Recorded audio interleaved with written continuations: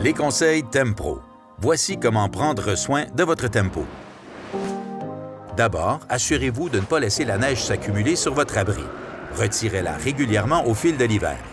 C'est même encore plus facile avec notre râteau à neige Tempo.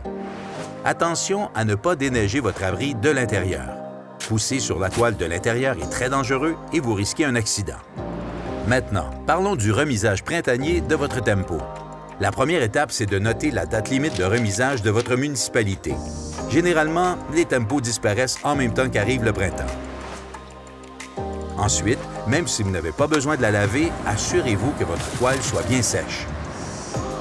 Pour la ranger, vous pouvez la rouler ou la plier. Il n'y a pas vraiment de technique parfaite. Attachez-la solidement avec une corde et le tour est joué. Il ne vous reste plus qu'à remiser la toile à l'abri de la chaleur et de la lumière et ne plus y penser jusqu'à l'automne prochain. Vous voulez jaser tempo? Venez nous voir en magasin, on est là pour ça.